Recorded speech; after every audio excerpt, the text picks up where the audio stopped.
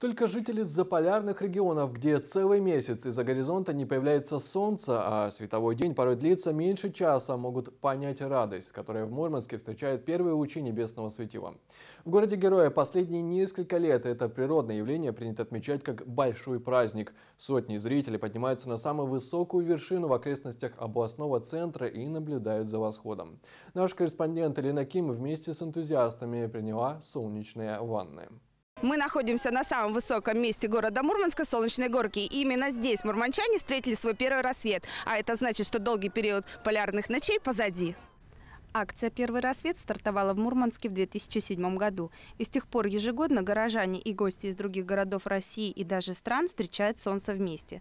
Для туристки из Таиланда радость северян получасовому восходу в диковинку.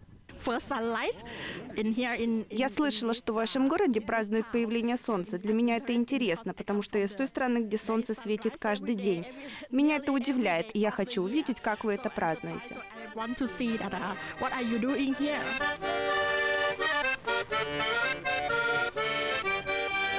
Всем энтузиастам, кто пришел встретить первый рассвет, по традиции вручили памятные значки – в ожидании появления солнца люди согревались чаем, пели песни и плясали. Первые солнечные лучи, я думаю, придадут всем настроение, взбодрят.